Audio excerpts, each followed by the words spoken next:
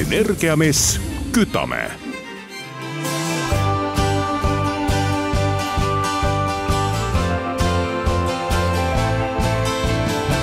härra Klandorf, Energiamessi avasõnad on öeldud. kas tänane üritus pakub teile ka isiklikku huvi?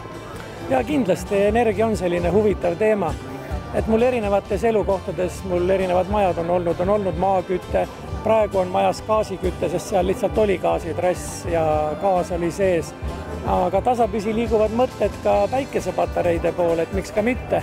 aga noh, praegu on see gaasiküte üsna värske, ma just vahetasin suvel gaasikatla ja boileri, nii et äh, praegu töötab ta hästi.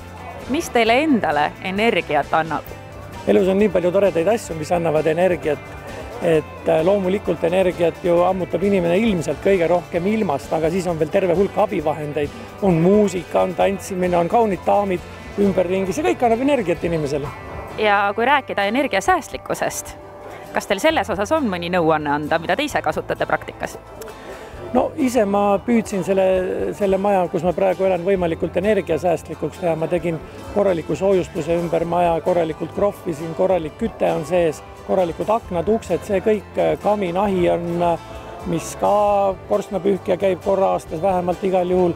nii et see kõik annab sellele majale sellise väärtuse juurde, kindlasti säästab energiat aga mis soovitada nüüd Tallinna elanikele, kes elavad kortermajades, siis meil Tallinna linnas on vahva programm Fassaadid korda. see ei tähenda seda ainult, et me fassaade vuntsime, vaid see tähendab ka küttesüsteemide, akende vahetust.